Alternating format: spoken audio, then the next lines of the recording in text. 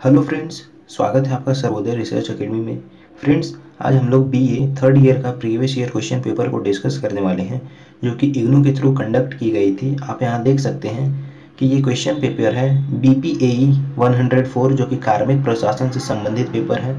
Friends आपको इस question paper को देखने के पश्चात दो मायनों में लाभ होने वाला है। पहला तो ये है कि आपको इस क्वेश्चन पेपर को देखने से ये पता चलेगा कि किस प्रकार के क्वेश्चन पूछे जाते हैं एग्ज़ाम में।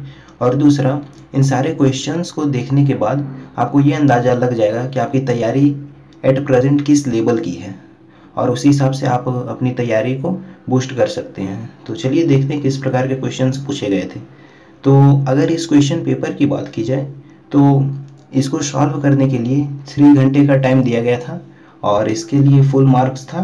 100 तो चलिए विदाउट एनी डिले देखते हैं आज का हमारा क्वेश्चन पेपर के क्वेश्चंस तो पार्ट वन में कह रहा है, निम्नलिखित में से किन्हीं दो प्रश्नों के उत्तर लगभग 500 शब्दों में दीजिए। प्रत्येक प्रश्न के 20 अंक हैं। पहला क्वेश्चन कह रहा है, कार्मिक प्रशासन के कार्यों की चर्चा कीजिए। तो फ्रेंड्स मैं आपको यहाँ बता देना चाहता हूँ कि मैं इस वीडियो में इन सारे क्वेश्चंस का आंसर नहीं बताने वाला हूँ। अगर आपको हम इन सारे क्वेश्चंस का डिटेल एनालिसिस वाला वीडियो चाहिए और इन सारे क्वेश्चंस का आंसर चाहिए। तो आप हमारे चैनल के प्लेलिस्ट में जाके इसका डिटेल एनालिसिस वीडियो देख सकते हैं, जिससे आपको इन सारे क्वेश्चंस का आंसर भी मिल जाएगा। तो फ्रेंड्स चलिए देखते हैं नेक्स्ट क्वेश्चन हमारा सेकंड क्वेश्चन है, कार्मिक, लोक शिकायत और पेंशन मंत्रालय की संरचना, भूमिका तथा कार्यों की व्याख्या कीजिए। तो चलिए देखते हैं next question question number third है, भर्ती की प्रक्रिया में चरणों की व्याख्या कीजिए.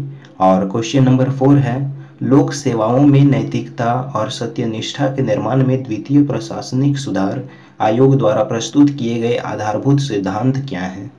तो फ्रेंड्स ये हमारा पार्ट वन का क्वेश्चन था. अब देखते हैं पार्ट टू का पार्ट टू में किस प्रकार के क्वेश्चंस पूछे गए थे. तो चलिए देखते हैं. पार्ट टू में कह रहा है, निम्नलिखित में से किन्हीं चार प्रश्नों के उत्तर लगभग 250 शब्दों में दीजिए। प्रत्येक प्रश्न के 12 अंक हैं। तो क्वेश्चन नंबर फाइव में कह रहा है, भारत में लोक सेवा आयोग की भूमिका की चर्चा कीजिए। क्वेश्चन नंबर सिक्स है, सेवाओं के वर्गीकरण के अर्थ तथा लाभों की व्याख्या कीजिए। क्वेश्चन नंबर सेवन है, प्रशासनिक अभिकरण के लाभों तथा सीमाओं को सूचीबद्ध कीजिए। क्वेश्चन नंबर एट है भारत में लोक सेवाओं के प्रशिक्षण संस्थाओं, संस्थानों पर एक टिप्पणी लिखिए। क्वेश्चन नंबर नाइन है, निष्पादन मूल्यांकन की व्यवस्था को प्रभावित करने वाले विभिन्न कारकों की व्याख्या कीजिए। और क्वेश्चन नंबर टेन है, केंद्रीय सतर्कता आयोग के कार्यों की चर्चा कीजिए। क्वेश्चन नंबर इलेवन है, भारत में संयुक्त परामर्शदात्री व्यवस्था योजना की प्रमुख विशेषताओं को व्यक्त कीजिए। क्वेश्चन नंबर ट्वेल्व है एक संगठन में कर्मचारियों के मनोबल को प्रभावित करने वाले कारकों की व्याख्या कीजिए। तो फ्रेंड्स, चलिए देखते हैं नेक्स्ट क्वेश्चन।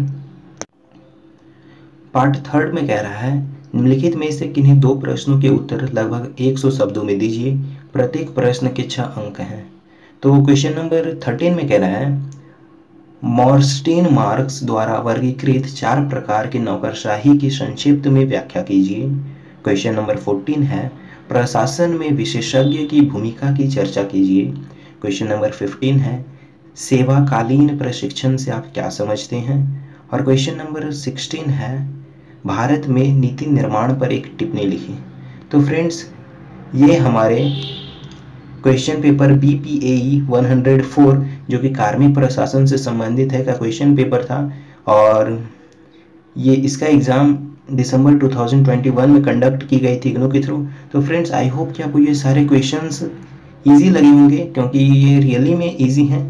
अगर आपको हमारा ये चैनल हमारा ये वीडियोस पसंद आता है और आपको इग्नू से रिलेटेड किसी भी प्रकार के अपडेट की आवश्यकता है तो आप हमारे चैनल को सब्सक्राइब कर सकते हैं। और अगर आपको इस क्वेश्चन पेपर का डिटेल एनालिसिस वीडियो देखना है तो आप हमारे चैनल के प्लेलिस्ट में जाके देख सकते हैं और साथ ही साथ इग्नू से रिलेटेड किसी अन्य सब्जेक्ट का भी क्वेश्चन पेपर देखना चाहते हैं तो आप हमारे चैनल के प्लेलिस्ट में जाके देख सकते हैं।